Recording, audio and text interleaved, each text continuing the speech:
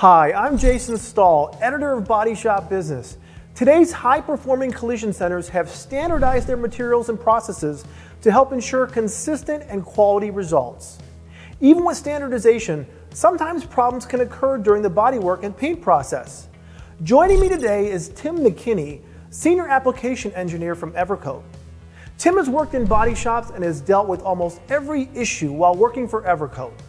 Today, Tim will discuss some of the do's and don'ts of the bodywork and paint process to help make your shop more productive, avoid rework, and save you money.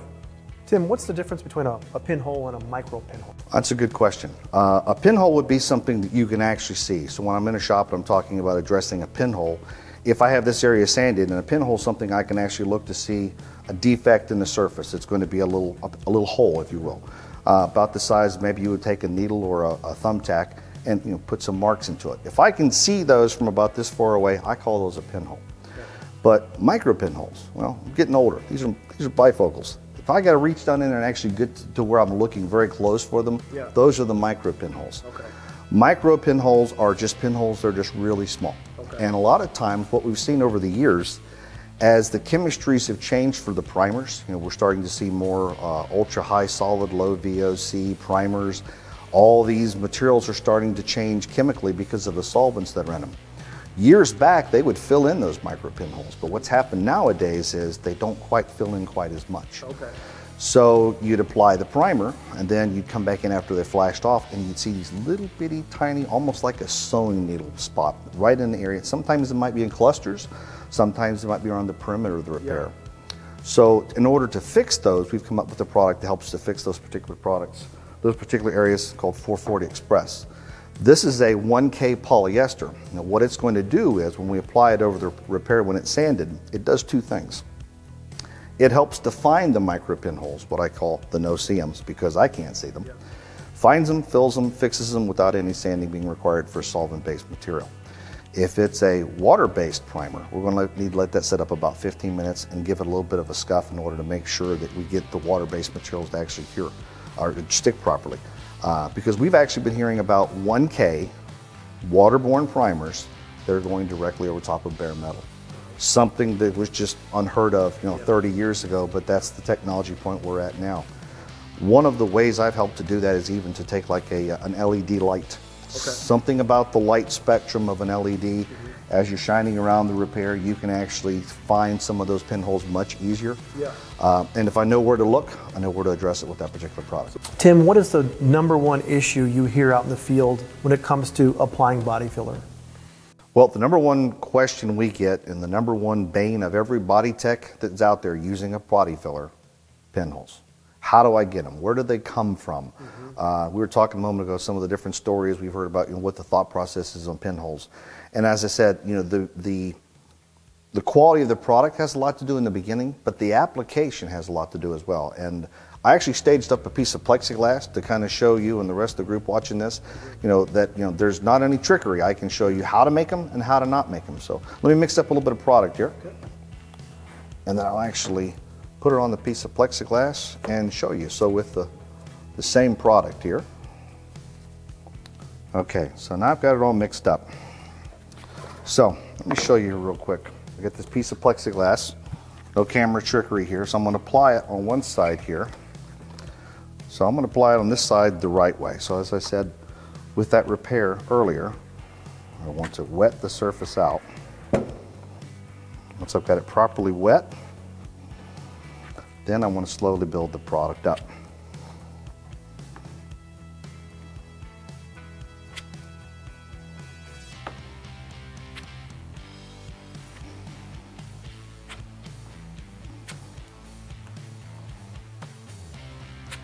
Now, how often have you walked through a body shop and seen when they're trying to do a heavy fill and they come over and they do this? Probably a, probably a time or two, right? Yeah. I see it occasionally. Maybe they'll do this. All right. Do you see a difference how it looks on the top? Oh my goodness, yes. There's craters over here. Yeah, you can see a lot. You can actually see the air pockets trying to work their way up. Mm -hmm. But now, here's the definitive part on this. I'll peel all this off. So So we can get a good sharp edge to see from the bottom.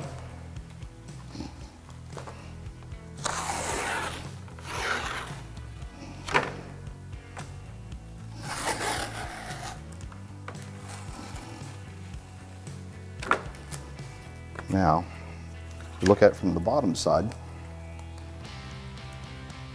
On this side, you don't see any air pockets at all, but over on this side, see the air pockets. Wow, yeah. So those are air pockets, and they're going to be pinholes when we sand them open. They're going to be from start to finish all the way through. There's no way I'm not going to have pinholes on that side, but on this side, I don't have any to start out with. Exactly, yeah. It's very clear here. Yeah. So this is an application technique that's really going to be pivotal on how to not get pinholes. As we talked about the sand scratch, you know, if I ground that area, I'd have a lot more air pockets, so we wouldn't be able to see it from the bottom if it had been ground, but you'd have more air. So by having extra grind marks in the metal, uh, a sloppy application initially, those are going to start that pinhole process. And once they're in there, we can't take them back out. But if we fine sand the surface as we did with the repair here, uh, we put that pressure on to wet the surface. As you can see on the surface, it's starting to slow flow out a little bit, but you can see a difference in how smooth it is and the air pockets trying to work their way through action. Tim, we mentioned catalyst earlier. How do you know the catalyst ratio? Oh, well, what we started to do here recently is we started putting a sticker on top of our cans, and that gives a, a quick visual reference. That's why, if you notice, there's not a lot of verbiage on there. So it works for any language. You can quickly look at it and see for a two inch puddle, you want to have a bead of cream hardener that's going to be about halfway across, so one inch. For a four inch puddle, you want a bead to go all the way across, like I showed a moment ago. And if it goes up to an eight inch puddle, as we have on the top of the can there, it's going to go all the way across and at least another uh, line that's going to be halfway across that. The reason being, think about it, how we know it's a four inch puddle? Well, most of our spreaders are four inches in diameter, so if it's about that, it needs to go all the way across. If it's an eight inch puddle, well, then we have two four inch puddles, that's why it's got to go all the way across. And the extra material on the outside, well, that's about the mass of another puddle, that's why we need that extra half line on there. So we put that on there just to kind of give our technicians that are using our product a visual cue to know roughly how much hardener to put into it. And again, there's some windage on it, but if they strive to get it at 2%, you're going to be much better off. Hmm, great. I've seen repairs that are darker blue and lighter blue than that. What's up with that? Well, if they're darker blue, that means they put in extra cream hardener, extra blue hardener, and that's why it's darker. It's over catalyzed. If it's lighter blue, and the worst case is you see no hints of blue into it, that tells you it's radically under catalyzed. So we're going for that light, uh, uh soft blue that we have in that color right there. Each of our products, if they start off to be a different color and you add the blue into it, they're going to be different colors. We want to always have some degree of blue showing up in the repair. Tim, thank you so much for your time today, giving us all this great information on troubleshooting tips when applying body filler. I'm Jason Stahl. Thanks for watching.